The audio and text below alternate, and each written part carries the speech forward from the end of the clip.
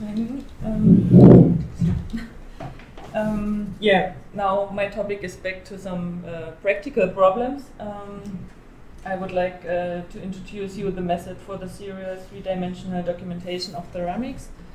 And um, I had the possibility uh, in spring 2018 to went to the excavation site in Tell el-Burak in Lebanon.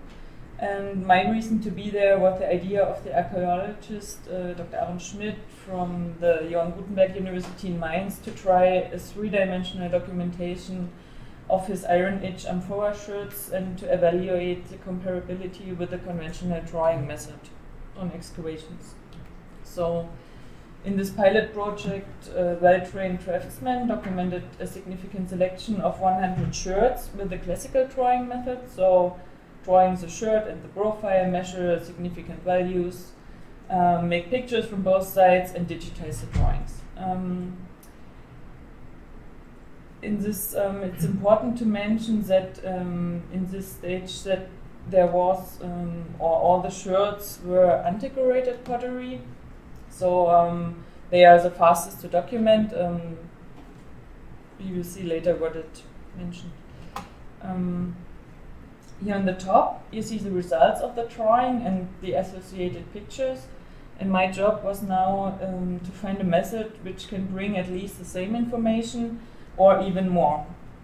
Um, and so, okay, how to start this first? Um, I read a lot of literature because I thought somebody must have done that before, but um, I don't find anything. So um, I only find um, the digitization of one shirt or um, scanning with a light light white light scanning system.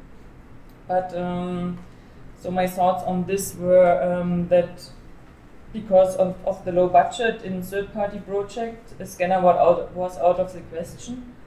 And um, so we decided from the beginning to take the structure from motion photogrammetry method.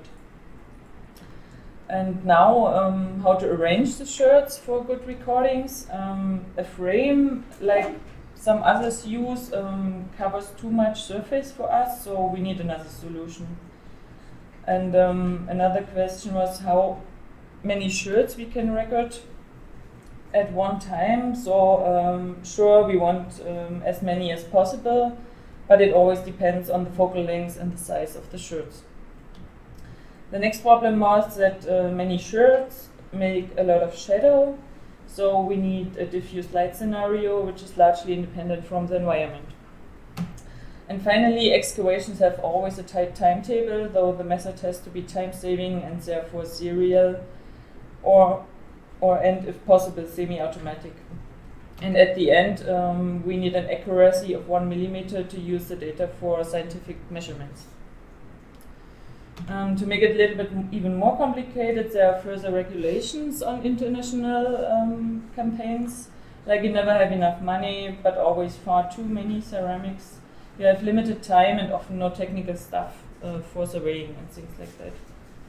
And uh, with all the stringent conditions, um, the following method is a result of a two weeks experimentation phase on site. Um, so here you can see um, a so-called ceramic tree. Um, yeah, with the opportunity to fix um, 8 to 16 shirts. It depends uh, most on the size of the sherd. So if you have small shirts, you can pick up up to 16. Um, we put it on a rotation table with markers for the dimensional accuracy.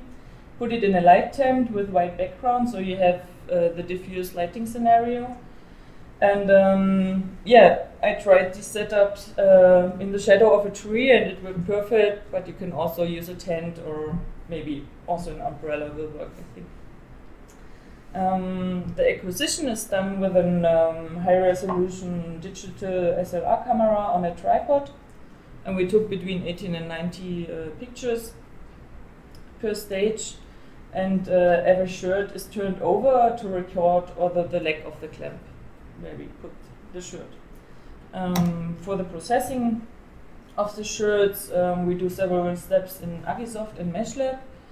Um, beginning with the cleaning of the point cloud, separate the sherds into stages, then align and merge them, and finally um, texture the resulting surface model. And this is how it looks like. Um, on the left, you can see the model with the complete texture, in the middle without, and on the right side, the picture of the original shirt. And what we uh, actually uh, want to achieve with this result is a working sheet, which is suitable for scientific research, and um, yeah, that you can, can compare it um, to the output of the classical drawings. Um, ah, okay, the animation doesn't. Um, yeah, for that we make a six-side view, a reconstruction with the help of a body of rotation, and uh, we put uh, in the relevant measurements and also want to put in a link to the online repository so that you have um, all together and can have a quick uh, look at the original 3D model. Um, and here Okay. um, here you can now see a summary of the required time of the individual work steps. Um, in uh, the beginning, it's important to say that uh, I ignored the calculation time of the software. Um, since this can also be done independently out of working hours and um, these are the extrapolations from the documentation of 96 shirts, and at all you see there's just a small advantage when you record 16 shirts because the, the recording time is just a fraction of the whole um, processing time. Yeah, and here you see um, the comparison of uh, the drawings, uh, or yeah, doing the drawings and the digitizations. And um, I would like also to emphasize again that the classical drawing was made only on undecorated pottery, and um, the time required for decorated shards increases enormously when you are trying uh, drawing them. So um, yeah, and in summary, uh, we can say that the digitization keeps up in time and quality with the classical drawings, especially if you have decorated pottery and uh, the additional texture calculations increases the processing time but has uh, the big value, the big additional value that you have a complete 3D model for reuse.